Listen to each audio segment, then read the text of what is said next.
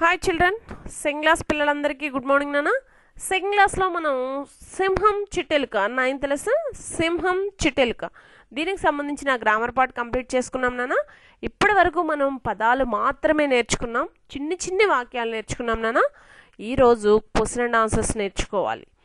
ఇక్కడ మీరు సింహం చిట్టెలుక లెసన్లో ప్రశ్నలకు జవాబులు రాయండి. ట్వంటీ ఫోర్ పేజ్ వర్క్ బుక్లో ఉంది చూడండి నాన్న. ప్రశ్నలకు జవాబులు రాయండి. ఫస్ట్ క్వశ్చన్ చూడండి. జంతువులు ఎందుకు భయపడేవి? మీకు జంతువులు చదవడం వచ్చు ఎందుకు చదవడం వచ్చు భయపడేవి చదవడం వచ్చు నాన్న. పదాలుగా చదవడం వచ్చు. ఆ పదాలని కలిపి వాక్యాలుగా చదివి ఆ వాక్యాలు రెండు మూడు నాలుగు ఐదు వాక్యాలని కలిపితే మనకి క్వశ్చన్ అండ్ ఆన్సర్ అయిపోతుందనా చాలా ఈజీ క్వశ్చన్ చదవడం ఏమీ ఉండదు. పదాలని కలిపి చదువుకుంటూ వెళ్ళిపోతే ఆన్సర్ అనేది వచ్చేస్తుంది నాన్న. ఫస్ట్ వన్ చూడండి జంతువులు ఎందుకు భయపడేవి? జవాబు ఒక అడవిలో ఒక సింహం ఉండేది.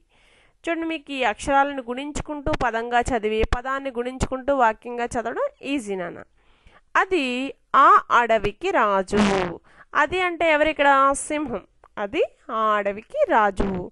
సింహం చేతికి ఏ జంతువైనా చిక్కితే అది దానికి ఆహారమయ్యేది. అందుకని జంతువులు సింహాన్ని చూచి భయపడేవి. మళ్ళీ చెప్తున్నాను చూడండి నాన్న జంతువులు ఎందుకు భయపడేవి? ఒక అడవిలో ఒక సింహం ఉండేది. అది ఆ అడవికి రాజు.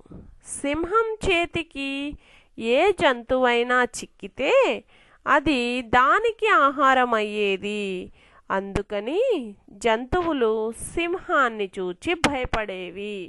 ఈరోజు మీరు ఏం చేస్తారంటే మీ నోట్బుక్లో చక్కగా డేట్ వేసుకుని ప్రశ్నలకు జవాబులు రాయండి అని హెడ్డింగ్ పెట్టుకున్నానా డబల్ లైన్లో పెట్టుకోండి సరిపోతుంది. ఇక్కడ ఫస్ట్ క్వశ్చన్ నోట్ చేసుకోండి. జంతువులు ఎందుకు భయపడేవి? చివరి క్వశ్చన్ మార్క్ పెట్టుకుని కింద లైన్లో రెడ్ లైన్కి ఇటువైపు పక్క జవాబు అని పెట్టుకుని ఒక అడవిలో ఒక సింహం ఉండేది. అది ఆ అడవికి రాజు.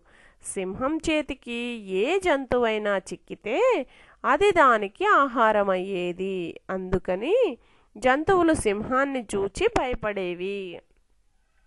మీరు నీట్ హ్యాండ్ రైటింగ్తో రాయాలి. ఫస్ట్ టైం క్వశ్చన్ ఆన్సర్స్ రాస్తున్నారు కదా మీరు. ఇప్పటివరకు పదాలు వాక్యాలు మాత్రమే నోట్బుక్లో రాశారు నాన్న.